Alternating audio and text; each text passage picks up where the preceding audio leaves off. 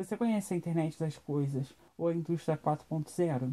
Olá pessoal, tudo bem? Quando você era pequeno, a sua professora dizia: Olha pessoal, estudem bastante, pois no futuro as máquinas vão substituir algumas profissões e quem não estiver preparado vão ficar para trás. Você achava que estavam falando isso para colocar medo ou que estavam assistindo muito Exterminador do Futuro, né?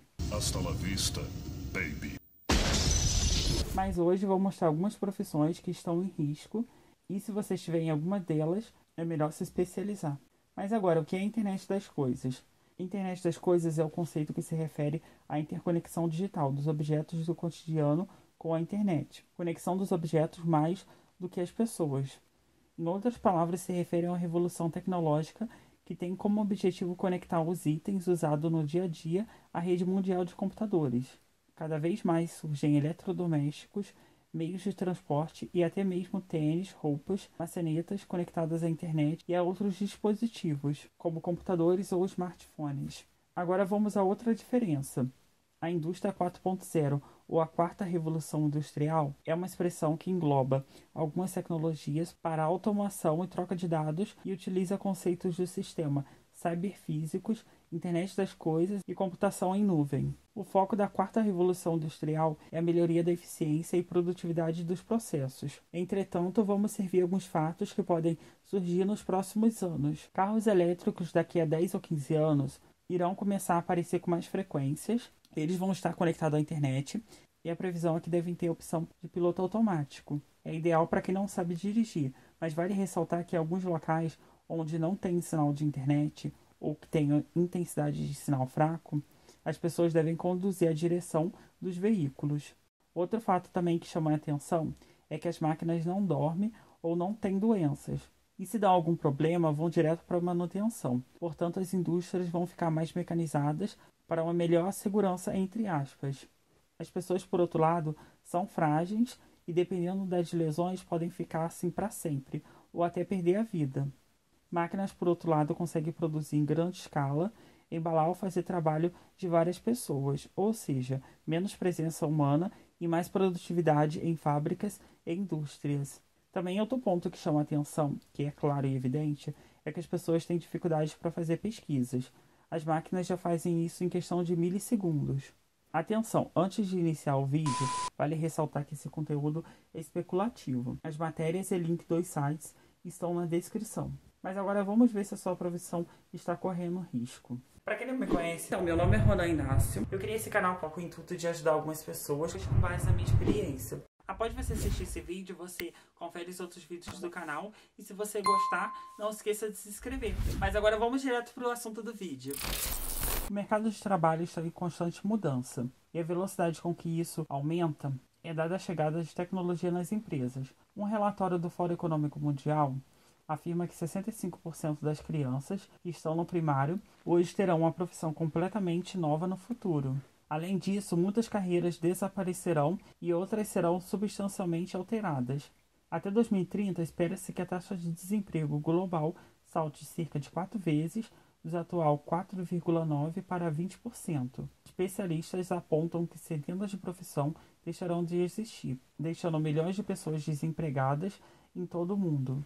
Nesse período, novas profissões também devem ser criadas. E no meio desse processo, profissionais terão que se adaptar e se preparar para a possível transição de carreira, já que muitas profissões deixarão de existir e outras vão surgir.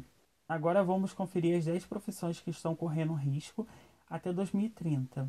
A primeira aqui é o operador de caixa, que está correndo risco com 97%. Essa eu já suspeitava, pois já tem supermercado em São Paulo que você entra com seu cartão de crédito, pega os produtos, uma câmera fica detectando o que você está pegando e no final já aparece uma fatura o que você gastou para o seu banco.